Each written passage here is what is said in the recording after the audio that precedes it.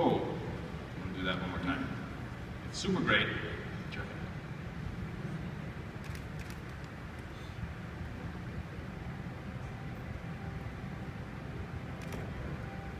At Evernote, we try to focus on what we're presenting rather than how to present it.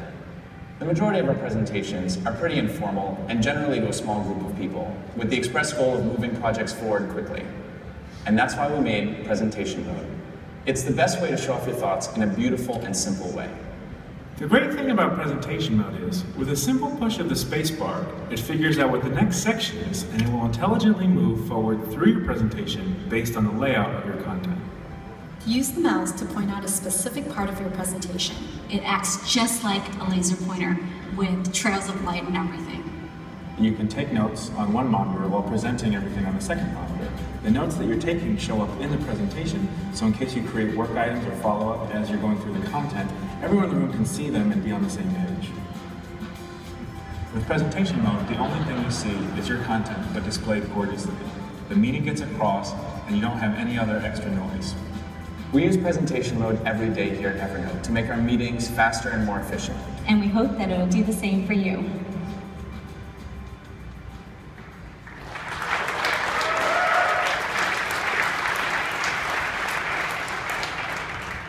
That meeting shot was totally real, by the way. That's how all of our meetings go. Where we all just kind of sit there on the table and like nod while the camera pans across the room like that. Uh, people are just so used to us constantly filming video everywhere. I think half of the people in that shot actually thought they were in a real meeting. Uh,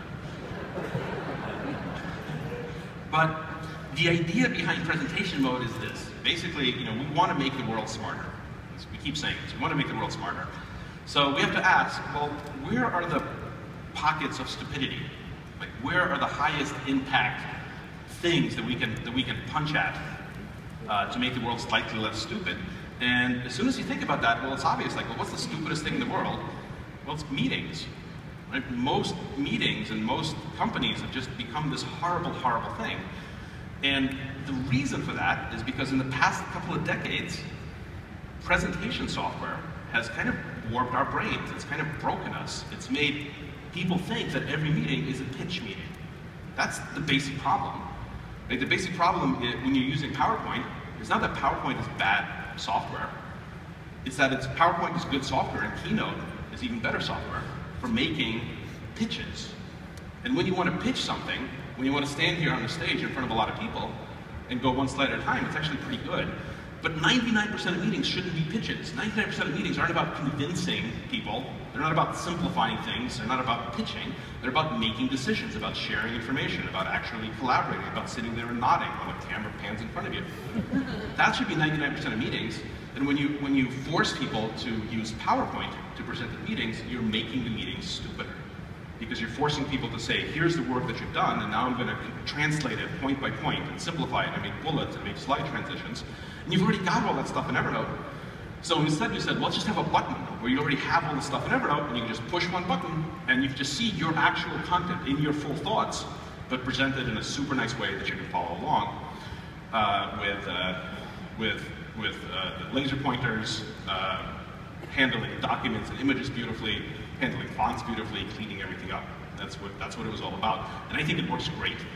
We build things for ourselves at Evernote, and by that definition, I think presentation mode is our most successful feature in terms of as soon as it hit super early alpha, everyone in the company started using it all the time without being told to do it. So I'm super excited about it. There's one point about it in particular that's great, which is uh, if you select a bunch of notes, so let's say you just select a bunch of notes, uh, you get this uh, multi-select view, which you've all seen, and then one of the new items on there is create a table of contents note.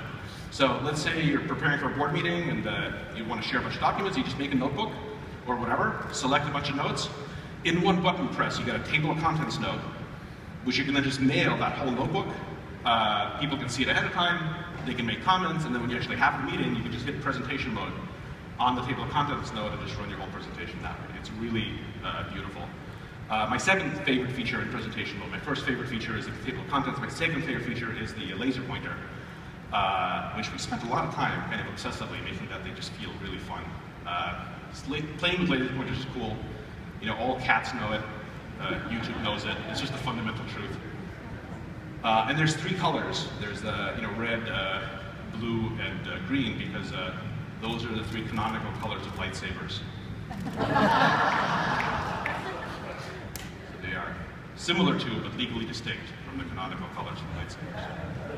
And some of you might say, oh, but there's more colors of lightsabers. There's like purple lightsabers. I'm like, no, there aren't. Those movies, those movies should never have been made.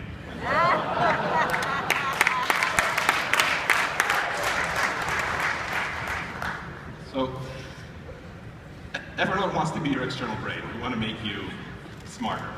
By the way, I, I, um, I'm super, super, super optimistic